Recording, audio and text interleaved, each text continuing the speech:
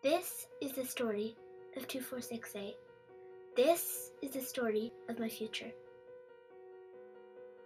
I'm Elise. I was a part of the 2468 family starting in FRC as a junior, and I became a first alum in 2016. During my time on Team Appreciate, I founded the lily pad project for our team. We began making hand painted wooden attachments shaped like lily pads for IV poles so that children in hospitals can get around. Seeing all the smiles on the kids' faces at our deliveries was such a rewarding experience that I'll never forget. When I became a freshman at Texas A&M as a mechanical engineering major, the manufacturing and electronic skills I learned from my time on 2468 helped me instantly excel in my classes. In fact, my senior year summer, I was able to utilize skills I learned from 2468 to intern at UnaliWear, where I designed several of their smartwatch bezels. None of this would have been possible without 2468. I'm Anna.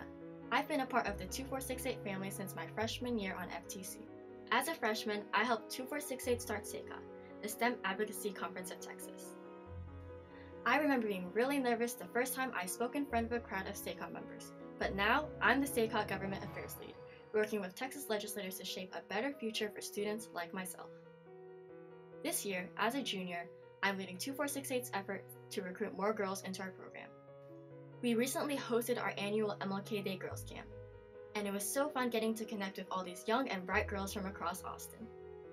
I have high hopes that they'll be in my shoes someday. I'm Sarika.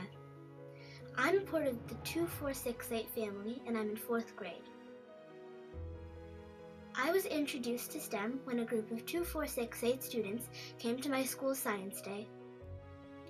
They taught me how to build and program my own robot.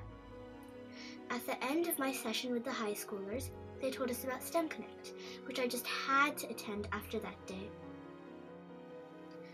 That summer, I went to a STEM Connect camp put on by 2468. I learned so much about programming and how to build FLL robots during my week with them. Now we want an FLL team, the Blue Jay Bots, that is also mentored by 2468.